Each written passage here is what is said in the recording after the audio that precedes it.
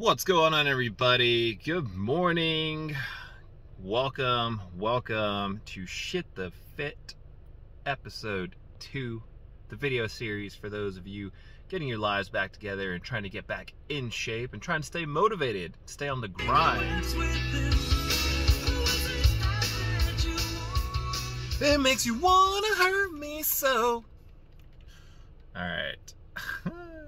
I'm not really sure why my music started playing when I'm recording a video, but that's dope. Whatever.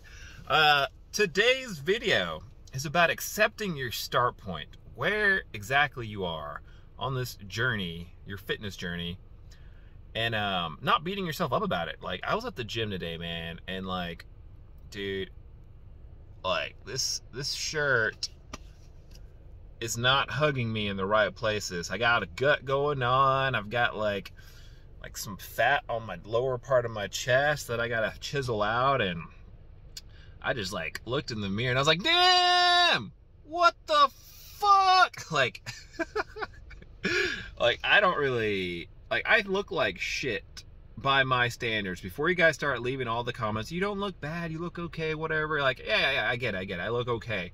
But by my standards, and I've been in much better shape, I look like shit. And it took a lot for me to start going back to the gym, you know, because my clothes don't fit me right. And, you know, a lot of them are just tight and they're not tied in the right places. Like, literally, like, guys, like, bros, I can't even, like, show you, but, you know, the sleeves aren't hugging like they used to. Like, look at all the space in the sleeves. It's not tight, man. My arms deflated. I got a little chub I'm working with. And, uh, you know, just that was a big reason for me to like postpone going back to the gym. You know, a lot of people feed themselves some bullshit. Like, when I lose 10, 15 pounds, then I'll go to the gym and I'll go work out in public. And, you know, those 10 to 15 pounds never happen. Progress happens the moment you say, fuck it, going back to the gym. I have made the decision to get back in shape and do this thing.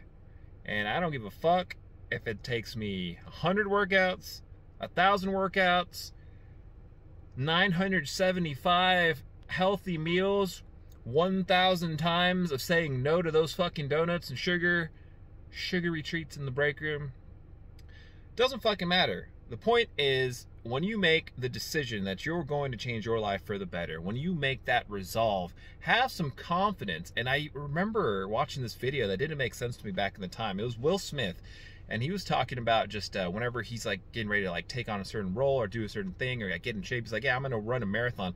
He tells himself as soon as he sets his mind to it that he's gonna do it that's it. He's gonna do it. It's that easy. Like he's gonna make it happen. Like all that's left is for waiting in his words quote quote wait for y'all to see.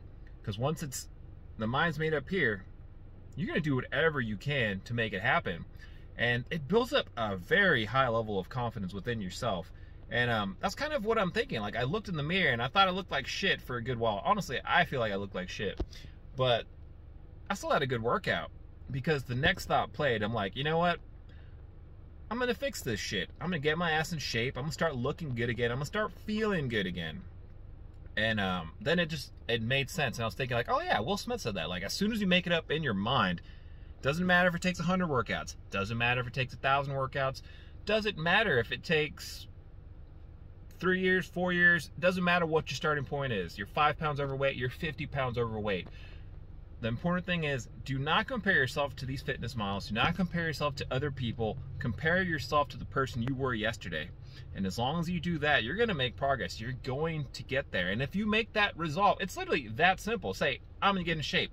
I'm going to do this thing. I'm telling myself that right now. I am going to do this shit. I don't care how much work I have to do. I don't care if I got to eat six meals a day again. I don't care if I got to be super at with it with my meal prep. I don't care if I need to eat chicken and broccoli. I don't care if I need to start dipping out and not eating sugary treats or out as often. I don't care if I need to work out and build up to six days a week. I don't care if I need to work out twice a week. I'm going to do whatever it takes to get to my goals, to achieve the kind of body I want to have.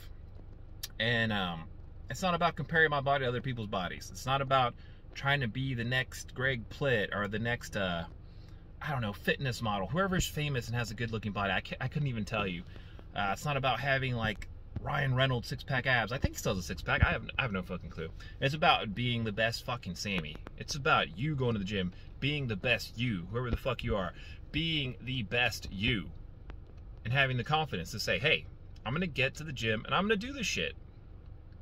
So, anyways, I did that shit today because during the Fourth of July weekend, I had like nine fucking cake balls, and it was just one of those weeks where man, I felt like I just undid all the progress I did, all the workouts I did fucked it up. Nine cake balls, and there's probably some other like sugary treats I had. I think I had like one donut and ah, ah, like